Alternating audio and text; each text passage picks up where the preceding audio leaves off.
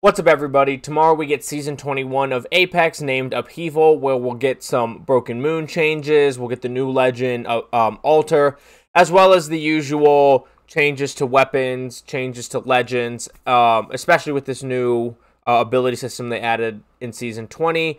Seems like they are constantly tweaking those and making changes. Before we go through the patch notes and what's changing, just want to mention that this will be linked down below, but as well as this, my Twitch will also be linked down below. I'll be live tomorrow afternoon, evening-ish, playing Alter as much as I can, but if you want to see me try any of the changed legends, you just want to see Alter, or you want to see me mess around with any new possible metas, changed weapons, all that, let me know in chat, and I'll be happy to oblige. And also, my other socials are linked down below. Any follows, interactions on any of those always make my day. But let's go ahead and run through these patch notes. So, of course, like I said, this will be linked down below. So if you want to watch the trailer, you want to read more closely, feel free. But I'm just going to really cover the important stuff. Of course, we have uh, Alter's abilities, passive gift from the Rift. You can remotely interact with a death box and pull anything out of the death box. It just can't be a shield core.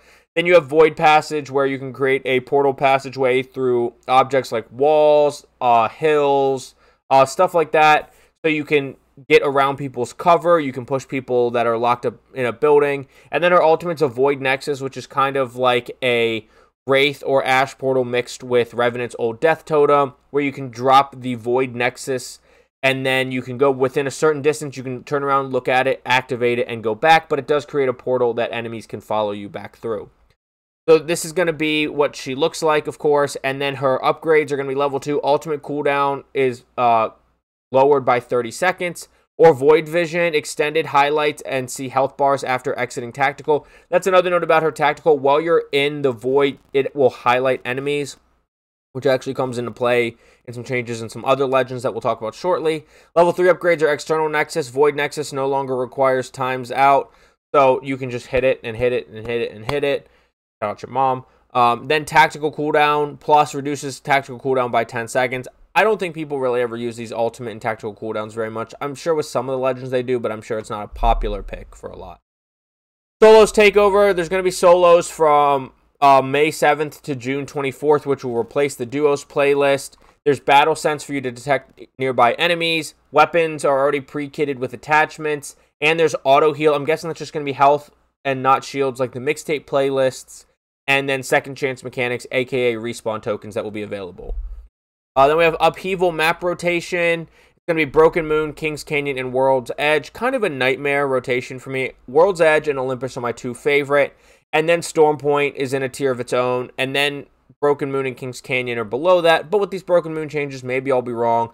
But I would have preferred like World's Edge if you wanted to keep another big map in there, Storm Point over Kings Canyon. I'm not a big Kings Canyon fan, but I'm also not an OG Apex player. I started in like 13. So maybe this is just me yapping for nothing.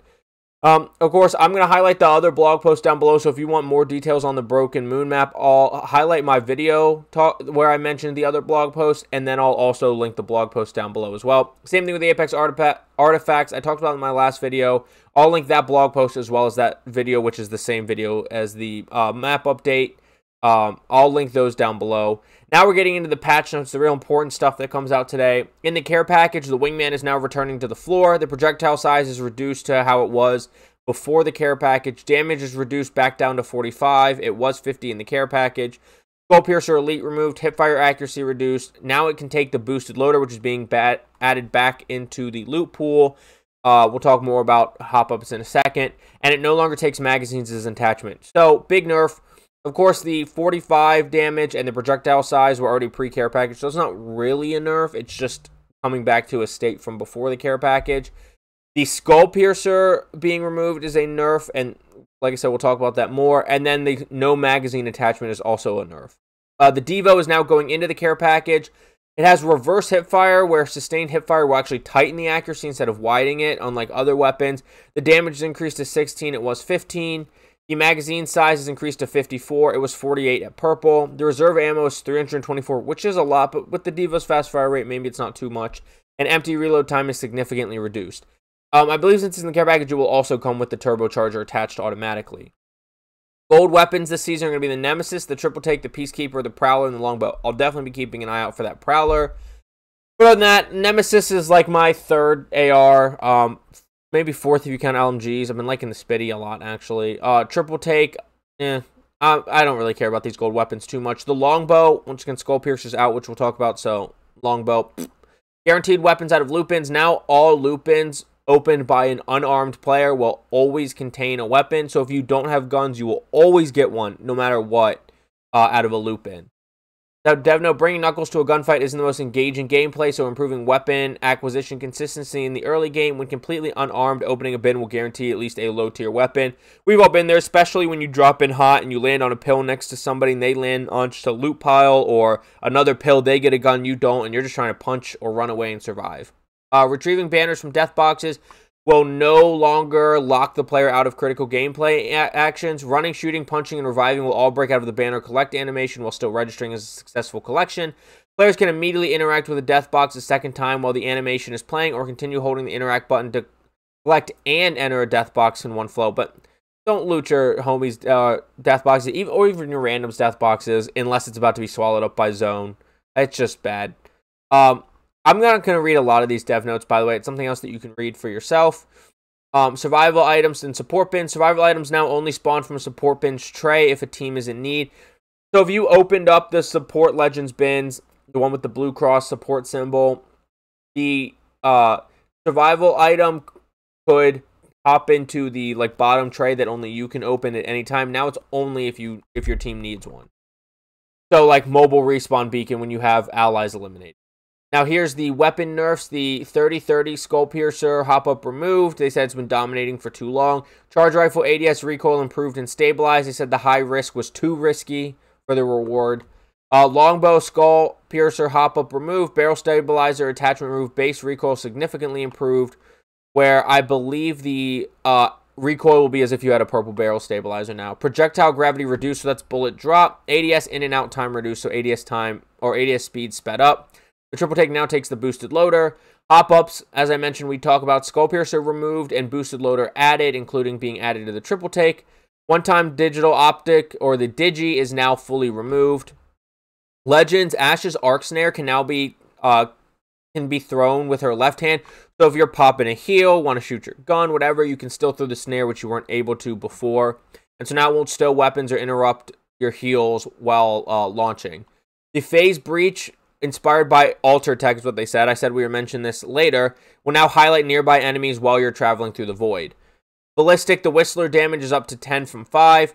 Upgrades, the care package insight upgrade was removed, and now it's a slingshot where if you select slingshot on your uh, upheaval level 2, uh, or sorry, that's the season, on your level 2 upgrade, now, when your armor upgrades, the gun upgrades, I believe so that would mean it would automatically make your sling weapon blue with blue attachments, and then when you level up to purple armor, it'll go up to purple attachments. That makes Ballistic more interesting because now you would have three kitted weapons as you level up your armor, but he's just still not useful enough for people to really use. Bloodhound Beast of the Hunt cooldown was increased to four minutes instead of three. I don't know if that was necessary. At least go 330. Bloodhound's not super used. Maybe they're trying to get him to be used again. He might be used in solos. Um, Nox with alt active no longer extend duration. So he definitely got nerfed for his alt, but his upgrades, the tactical cooldown upgrade was removed. I told you, people really aren't using those. And that's what they're removing these abilities really based on, is how much people are using them. Uh, Taste of Blood is now added. Buffed HP gain on Knock to 50 was 25.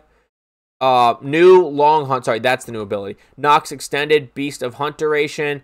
So now you can choose long hunt or taste of blood. Taste of blood gains 50 health on Nox, while the long hunt Nox extend the beast of hunt duration. So that was the alt. So they're essentially nerfing the base alt and saying, well, you can choose an ability if you want that nerf undone, which I I think that I, I just don't like those changes personally, but I'm not a Bloodhound main, so I don't want to speak for Bloodhound mains. I just personally don't think that's a good change. Um, Catalyst Piercing Spike cooldown decreased to 20 was 25, and Long Cast upgrade integrated into base tactical. So they did remove the Long Cast where the range of throwing the spikes could be increased with one of your upgrades. Now that's just base, which I think is good, but that is a buff to her Q. Dark Veil length increased to 45 meters. It was 40, so another buff for Catalyst. They're kind of just reverting changes they made last season. Um, upgrades, or technically this current season, so tomorrow. Upgrades, Long Cast has been removed from the upgrades. Long Veil has been moved down to level 2, which means you can increase the length even more. Uh, new Ferro Doors, a new ability that you can also choose at level 3, where not only can you uh, put ferrofluid up in place of a broken door. Now you can rebuild broken doors that have been completely destroyed, and they will also have the ferrofluid barrier on them. That's huge for locking down buildings, and as people are trying to push you and they destroy your building, being able to rebuild doors. Catalyst, if she wasn't back in the meta recently, which I'm pretty sure she was, she's definitely going to be in the meta, especially in higher ranked games and in pro play. The fact that the veil is longer, the piercing spikes can be thrown farther, and you can rebuild doors completely with ferrofluid already on them. She's going to be huge, especially ALGS end games, high ranked end games where you want to be able to lock down a space. Caustic gas damage and slow now stops immediately after Caustic squad is eliminated. I personally think that's a change that should have always existed. Um, but also, you don't get credit for enemies being killed if your team's fully eliminated. So this is more of, hey, we're not going to annoy non-caustic players as much. Um, gas damage ramps from 4 to 10 max now. It was base 5 up to uncapped damage. Um, and damage on knock players is now down to flat 4. So they really nerfed Caustic in this. I didn't think it was needed. I know Caustic's pick rate has gone up, but he's not crazy. I didn't think he's crazy overpowered or crazy meta. Or just annoying. And now he's less annoying um, and weaker. Conduit's Radiant Transfer can no longer target a Revenant while Forged Shadow is active. That's a great change. When Revenant activates Forged Shadows, any temporary shield generation ends immediately. Revenant will keep any temporary shields generated before activating his ultimate. So this is kind of more of a Revenant nerf, but it's really a like team comp nerf. Like people were using Rev Conduit together for that overpowered reason, and now that's not going to be the case. So I would assume this would make Rev's pick rate go down a little bit, but not really Conduit because this isn't a true Conduit nerf. Uh, upgrades, battery collection removed. Uh, battery collection was seeing the battery count on death boxes. I recently started playing Conduit a lot recently, and I anytime I accidentally selected that because I was trying to do too many things at once, I was so bug bummed that I picked that instead of increasing the jammer range, which still I don't think is a great upgrade. I think Conduit's upgrades are so-so. And now they have new backpack where you can stack up to three shield batteries per inventory slot. Doesn't stack with gold backpack. This is an iffy one because if you find a gold backpack, you're to just obviously pick the bigger jam upgrade, which I would probably still pick anyways because – one extra bat's nice, but you just hope you can loot a gold backpack. And I just think being able to lock down an area a little more is better. We'll have to see how it feels when it plays. Personally, I don't know that I would pick Bat Pack, just like I didn't really want to pick Battery Collection. But it is definitely better than Battery Collection. That's unquestionable. Crypto Neurolink network traffic upgrade now integrated into base kit. Squad count banners are now visible anytime the drone is in a deployed state. So if your drone is out, you can still see the squad count banners.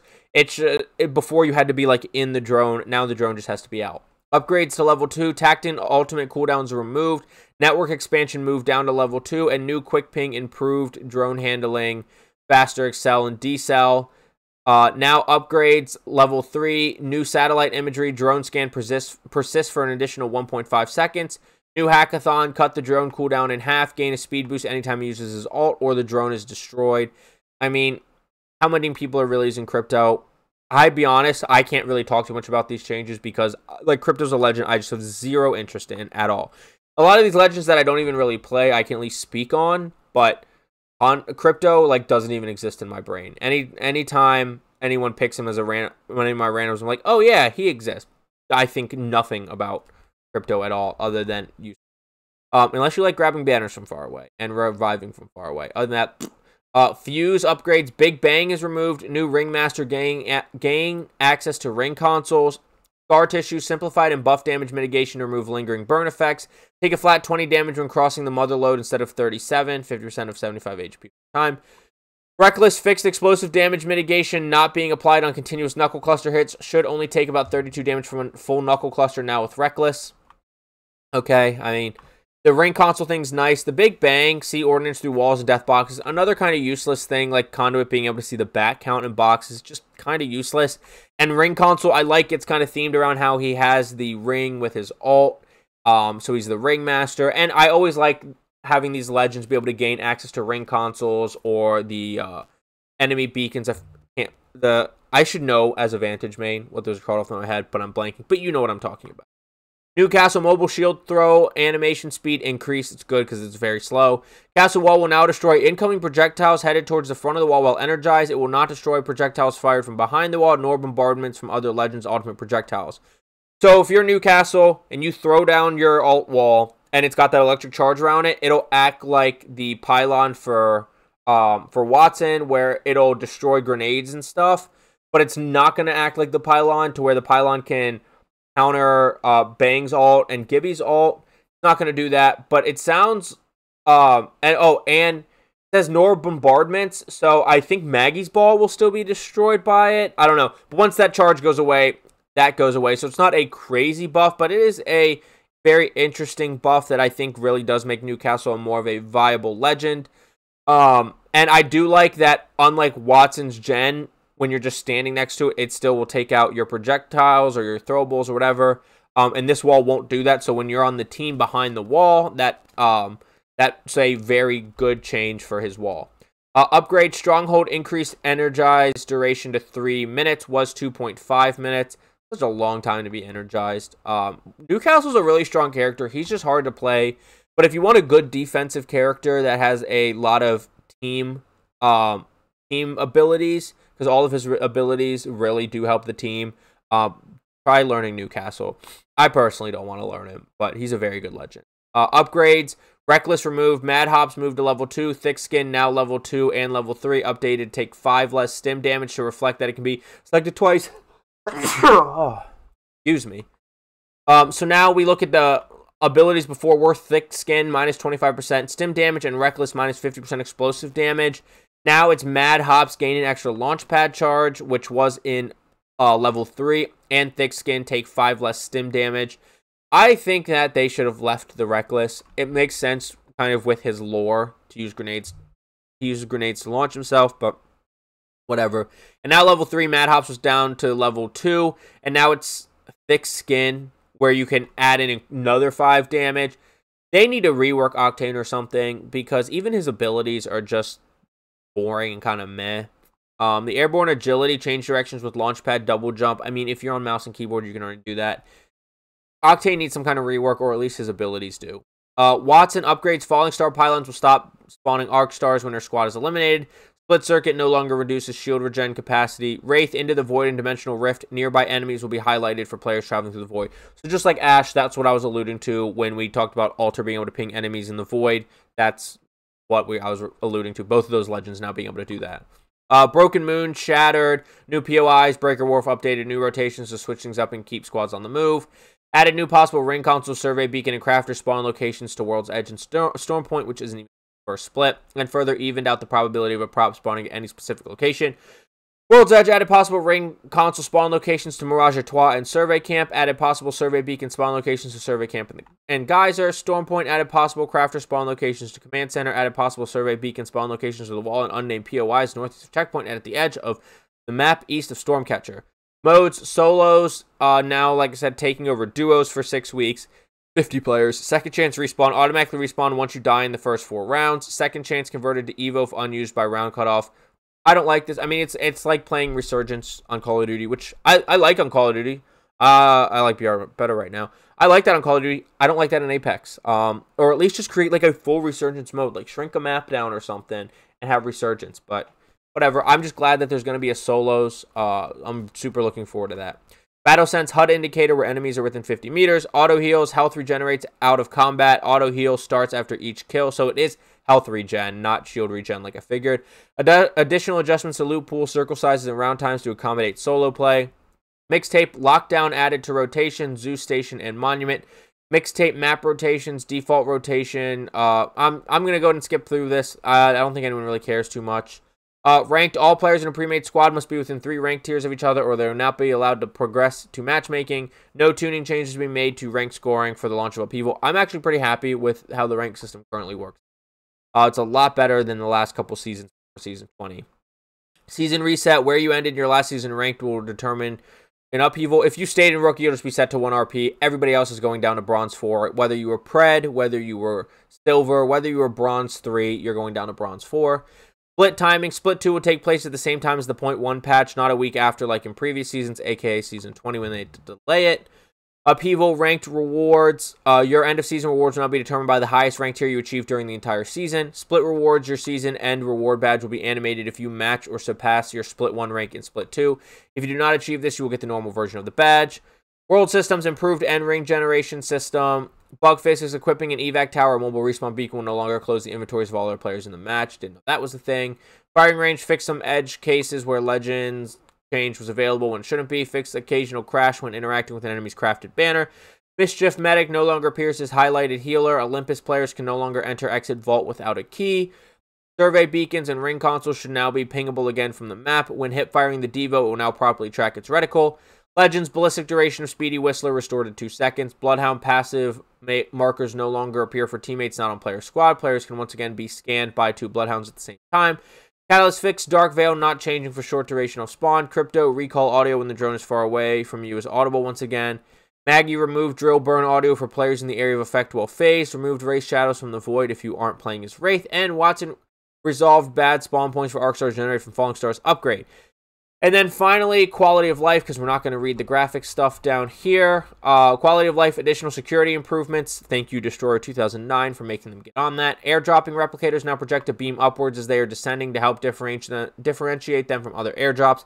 Back by popular demand, you can requeue at the end of pubs, BR, and mixtape matches. Now, they just need that in ranked, but I mean, I guess I get why not. Ballistic can now add any locked set weapon into the sling where it will be converted to proper lock set tier and restored to its original state when being moved out. Red tier stone will allowed. Deathbox Flyer's option to automatically ping the location of Deathbox will be prompted when knocking it from a Flyer's grasp. Uh, improved choice of consumables that are auto-selected when either reaching full health, full shields, or when dropping your last selected item. The new choice should move more intelligently, select shield consumables, or prioritize syringes for quick healing. These changes were made to help new players have more optimal outcomes. Improve use interactions with doors when self-res is available. Map spawn audit for all mixtape modes, Phase Runner, Habit, Thunderdome, Zeus, and, and Zeus Station. Upgrade to the latest version of Easy Anti-Cheat. Thank that. Uh, cheaters have been bad. I'm not great at spotting Apex cheaters, and even I've been super sus of people this season. Ping should now go through all translucent surfaces like windows. Thank Dude, that's so frustrating. Warzone does that stuff too. It's so annoying. Players can now request for grenades, arc stars, frag grenades, and thermites. Work similar to healing items. Hold the grenade button, open the ordnance wheel, hover on an ordnance item, select ping to request. Thunderdome airdrop location adjustments control move C capture point to landing pad. Okay. Um, adjusted spawn attached to B capture point. Thunderdome is the worst mixtape map. But that's everything. Uh, it was a lot. It's a long video. So if you stuck through it all, thank you so much for watching. Please don't forget to hit that like, subscribe, notification bell so you know when more this goes up. I'm trying to shift more into uh, Apex content as well as going uh, upping my Warzone content like I used to. So make sure you hit that notification bell if you enjoy either of those games, um, so you know so you can be first to know the new information. Um, and let me know down in the comments below what you think of the season. I like some of the legend changes. Um, I think changes Octane uh, highlight how boring Octane can be. Um, that's one thing that sticks out to me. I like the weapon changes. I have no feeling Sword Skull Pierce being removed because I hate the 30-30. Um, I hate the longbow, and I'm awful with the wingman as much as I do like it. Those are my thoughts. Let me know yours down in the comments below. And like I said, this will be linked down below. The other blog posts will be linked down below. My other video will be linked down below. My Twitch will be linked down below. Um, if you want to come watch me be a bot sometimes, sometimes be really good, sometimes be a bot, or you have any questions about the new season, you want to see anything. And finally, all my socials are linked down below. Uh, if you want to check any of those out, short form content that kind of mirrors this, as well as some clips. And Twitter's just me um, being me. So, with that all being said, I will see you on World's Edge, Kings Canyon, and brand new Broken Moon. Get frying. Have a good day. Bye.